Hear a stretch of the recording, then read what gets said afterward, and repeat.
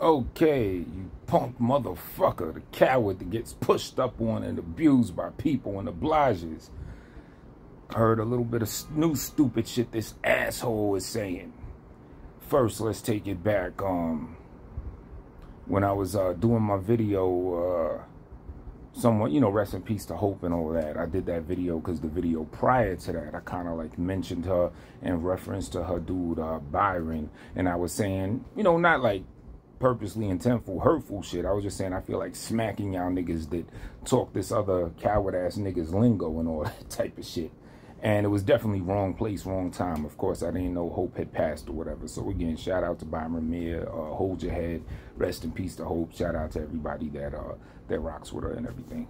So this dude is gonna say that uh, first I was about to mention what's this other girl, Jamila or something, and then I didn't mention it.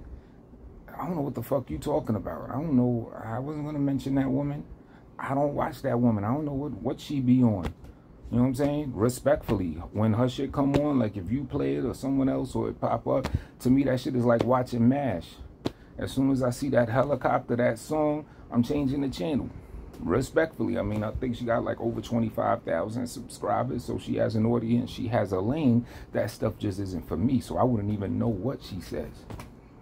But this nigga trying to make it about no, what I was talking about was you. The first words that came out of out of your mouth in reference to this young lady's passing was she she loved me more than all of y'all. What? That's just like in bad taste. Now I understand you said that because I was watching Rio's joint and he had the girl Tina on there and she was kind of crying. But then she said, we know Hope, she will want us to keep cooking that bum. so that's what dude said that other shit. Now one can argue that that was in bad taste too, albeit I say yeah, I, it could be translated that way, but that shit was mad funny. I was rolling.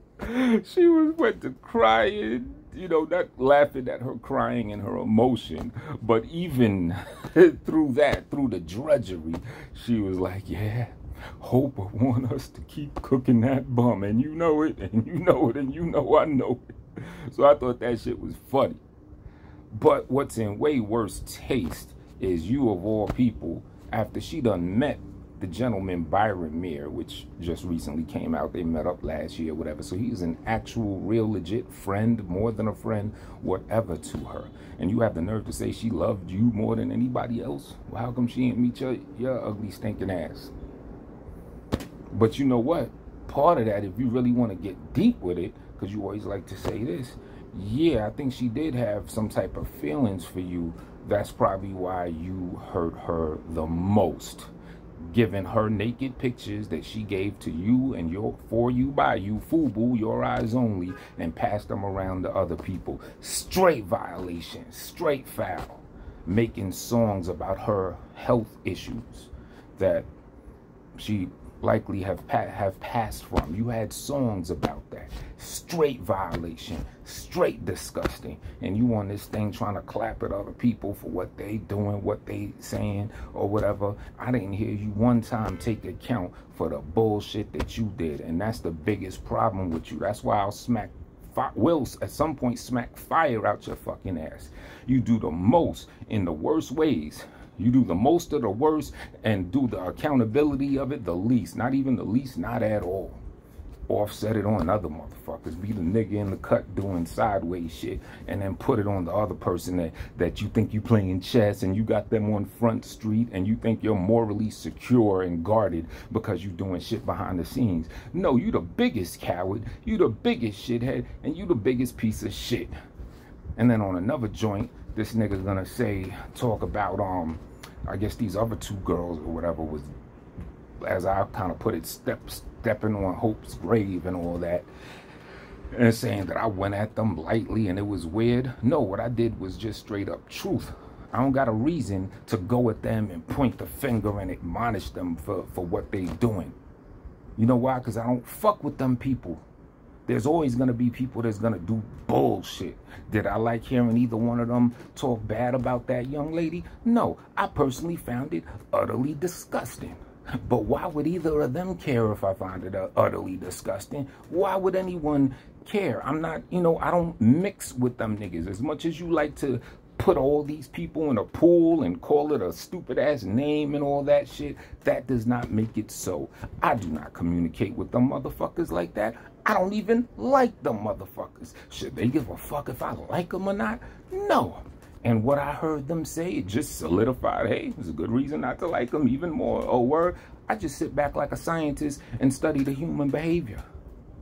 So yeah, it's not my place to say you shouldn't say that.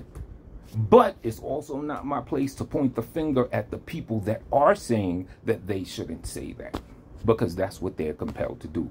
Just like them dogging the girl out, hating, whatever you want to call it, that's what they're compelled to do. It's human shit. That's what humans do. You got good ones, you got bad ones. There's a whole lot of bad shit going on. That's why a lot of times the good ones decide to get about this piece you know, young lady Hope, rest in peace. But she made, oop, oop, money talking. Oh, what's this here? Let me see. Am I going to do this?